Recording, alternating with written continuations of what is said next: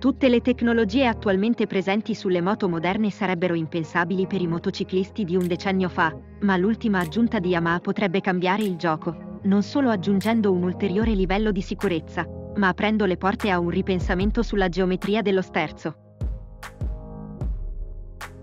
Il servosterzo elettrico EPS di Yamaha verrà utilizzato per la prima volta su macchine da lavoro al campionato di motocross All Japan di quest'anno, ma ci sono piani per utilizzare il sistema su una varietà di moto. È una configurazione straordinariamente compatta, ma il fatto che sia controllata da un computer significa che c'è un enorme potenziale per aumentare la sua gamma di abilità.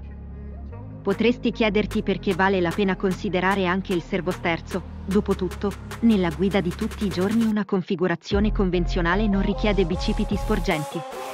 Per l'uso del motocross, tuttavia, ha più senso quell'elemento più semplice dell'idea.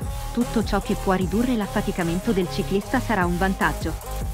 Ma ridurre lo sforzo necessario per girare il manubrio è solo un elemento del sistema. Funge anche da ammortizzatore di sterzo attivo, contrastando le forze esterne in modo da non rimanere a lottare contro il manubrio per mantenerle puntate nella direzione scelta. Ancora una volta, il motocross è un serio test dell'idea, ma potrebbe essere utile su moto da strada o altri piloti. Il servosterzo stesso adotta la tecnologia del sensore di coppia magnetostrittivo delle biciclette servoassistite per capire cosa vuoi che faccia. Sulle e-bike questi sensori di coppia vengono utilizzati per dire quando stai pedalando e quanto duramente, inviando quei dati a un computer di controllo che interpreta la quantità di assistenza elettrica necessaria. Qui fa lo stesso, ma sullo sterzo della moto. Il fatto che l'EPS possa distinguere tra gli input intenzionali del ciclista e le influenze esterne indesiderate significa che può aggiungere stabilità senza compromettere la reattività. Le possibilità che il sistema apre sono vaste.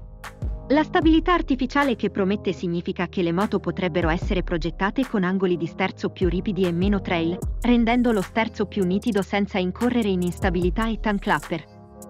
Più o meno allo stesso modo in cui i moderni aerei da combattimento sono intrinsecamente instabili al punto da non poter essere pilotati senza l'assistenza del computer, una futura motocicletta potrebbe essere realizzata con una geometria dello sterzo che non potrebbe essere immaginata senza l'EPS. Allo stesso modo, è possibile adottare una maggiore scia, che normalmente renderebbe lo sterzo troppo pesante, utilizzando il servoassistenza per renderlo leggero. Molto semplicemente, il sistema potrebbe rimuovere i ceppi attualmente posti sui designer dal compromesso tra stabilità e reattività. Spero che vi sia piaciuto questo video. Ciao a tutti! Ci vediamo nel prossimo video.